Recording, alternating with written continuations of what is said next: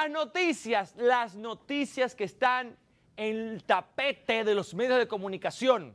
La señora Gaga, Lady Gaga, volvió a sorprender a todo el mundo. ¿Sabe que Ella, ella pidió un reloj malo allá en, en eso.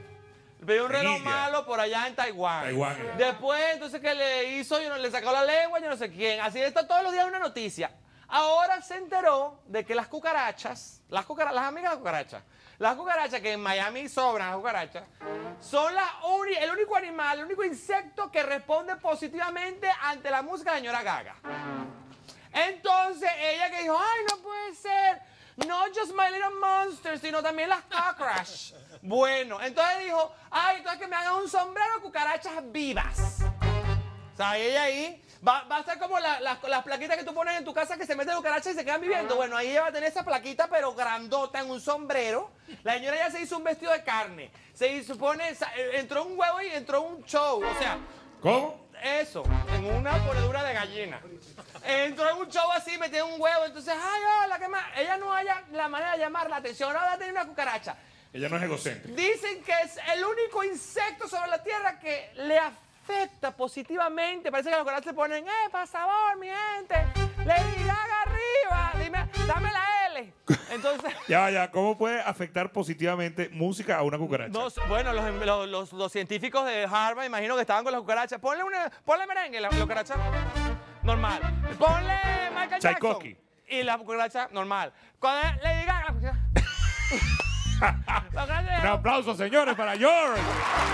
El baile de la cucaracha. Ah.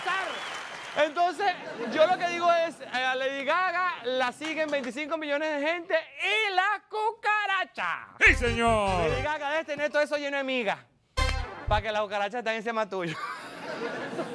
bueno, la señora Madonna, que también esa es otra, que esa no anda buscando a ver dónde se doña. mete, dónde mete la cabeza, para ver dónde le sacan una foto. No se queda aquí, esta señora ya mayor. Se fue para Estambul a abrir su gira, que se va a llamar MDA, para que veas que yo estoy con el inglés así. Otra vez, vamos de nuevo, pero M- lento. MDA Tour. Chamo, no te pelas. Muy bien. Se va a llamar así. Entonces ella ya como para promover, ya claro, me imagino que la gente está, ay, ya Madonna, no me hagas esto. Ya son muchos años. Tú tienes más años que la reina de Isabel. O sea, eso es celebración, eso es tour, eso es tour. Ya, ya no quiero bailar más. Entonces ella, no, vamos a hacer una plata, vamos a recoger una plata, que yo quiero hacer una, una casa nueva, pintar, hacer unas cortinas para verano y esas cositas. Entonces la señora fue, ahí tenemos el video donde ella... ah, Ahí está, ahí está, ahí está. Ahí está el video donde la señora en Estambul se empieza a desnudar frente a su fanaticada y como no le estaban parando pelota, se peló esa parte de ella íntima. La sacó al aire, dijo, "Mm, para que ustedes vean que yo todavía sigo teniendo algo real en mi cuerpo. Esa es la única parte de su cuerpo no musculada. O sea, ella todo, todo tiene músculo, músculo, músculo, músculo, músculo. Y ella dijo, esta sí que no he podido desarrollarla. He hecho muchas flexiones, pero miren, esta no la he podido desarrollar. Y así le dio más publicidad a lo que va a ser su gira MDA, estilo a lo Janet Jackson, que el otro también le hizo ñaki, porque más tarde te la voy, quiero a- eso. Entonces...